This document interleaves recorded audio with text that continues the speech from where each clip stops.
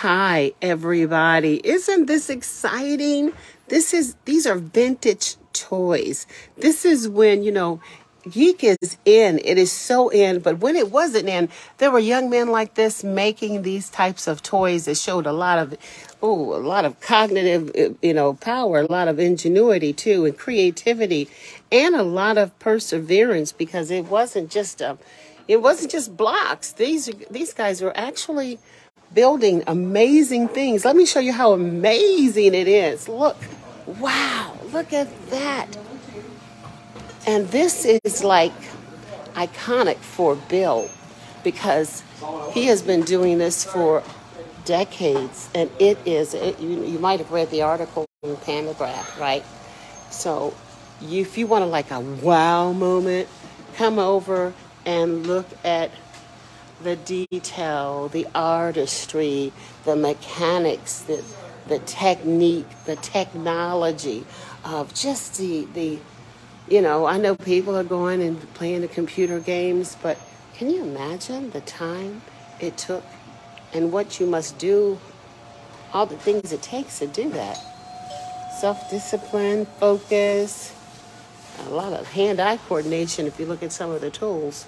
This is great. I love it. What a wonderful surprise. You know, I'm not originally from the area, so um, I just didn't know this was here. And when I walked in the door, I went like, Amazing. Amazing. And I've seen these things at garage sales and yard sales, and I didn't know. I don't know if I'd have the patience. I'm not really good with a basic puzzle. Wow, look, he started it up for us. There's Bill. He's the icon in Bloomington. wow. Oh, I just missed this one. Oh, okay. Uh, I'm going to have a surprise for you. I'm not going to miss this one. Here it goes. Watch this. Whoa, I get to see the full works. I'm excited. I'm like a little kid. I've never seen anything like this.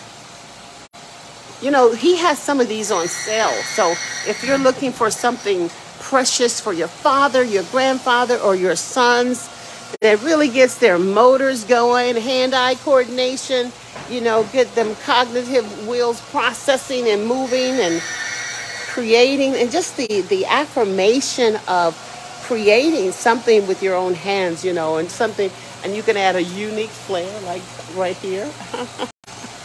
this is a, oh wow, this is 20 years, so this is like an anniversary. I'm so excited. You guys, if you're, oh, wait a minute, there's the planes.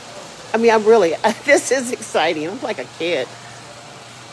You know, and I, I could, I mean, I can do Legos. That's about it.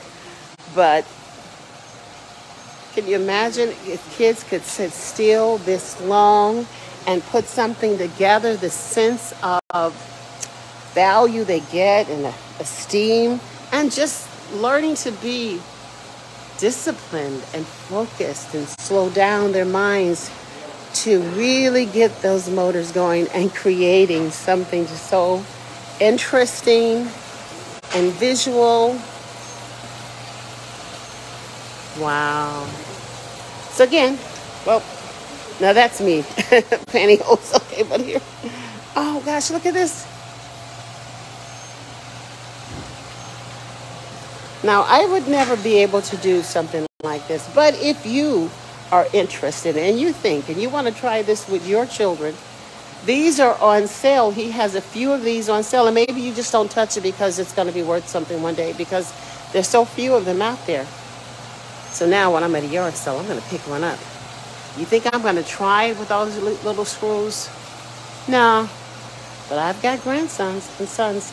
Well, anyway, I want to thank you, Bill, for this wonderful. You want to say anything to the community about coming over? okay. And you can come here and get your keys and your locks, and they even have pepper spray for us ladies, okay? But the pantyhose we saw over there are not for sale, okay? Those are cool too anyway, you guys have a great day. And um, if you can, make your way out. You might need an extra key made anyway. Locks and keys for the home and the car. Wow, vintage locks, guys. Can you imagine those people who are restoring old homes, right? Who want that special knob Look at that. Look at I like that knob. So you got it all here. It's like going to a museum too, you know? I could just hear something. Dum dum dum dum. These locks look kind of creepy too. Back in the day. Wow. Back in the oh look at the artistry on this one. Look at the detail. Wow. There's so much to oh my gosh. You if you're interested in making some fancy necklace or keys or something that you got it all here. Those who are restoring homes, those who are like vintage things from um, toys, and of course, locks. Locks and keys. That's really what it's all about. They are made here.